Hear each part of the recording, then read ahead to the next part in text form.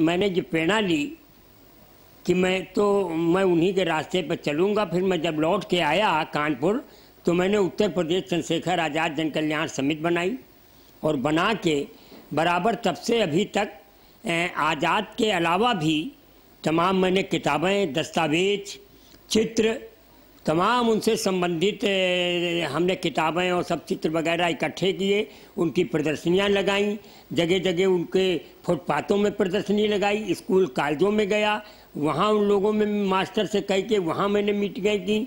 तो हम तो उसके बाद ये इतना ज़्यादा हमको प्रेरणा मिली कि जितने भी क्रांतिकारी थे देश के, चाहे वो मंगल पांडे हों, तात्या टोपे हों, अजीमुल्ला खां हों, कि रामा देवी चौराहे पर चौधरी चरण सिंह की लगी है और डिप्टी पड़ाव में राणा प्रताप की लगी है और तुम्हारे झांसी की रानी की वहाँ लगी है आपके रावतपुर में। एक झांसी की रानी मॉडल टाउन में लगी है जहाँ स्वतंत्रता सेनानी लोग रहते हैं ईएसआई हॉस्पिटल के सामने।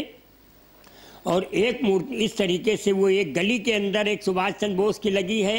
राम नारायण बाज़ार में कभी वहाँ कोई नहीं जाता है। एक चंद्रशेखर आज़ाद की सिरकी महल की गली में लगी है वहाँ कोई नहीं जाता। मूर्तियों के साथ क्या करते हैं? मूर्तियों के पास जाना सबसे पहले मूर्ति के अगल बगल सफ़ाई करना। वहाँ अपना जो भी व्यवस्था हमको मिली या हमारी ए, कपड़ा अपड़ा एक आध हम रखते हैं उससे साफ़ करना और उसके बाद स्टूल लाना। और एक हमारे पास मोमिया हम ले जाते हैं, इसी में रखे रहते हैं। पानी भर के ले आना, कहाँ मग्घा मिले, न मिले।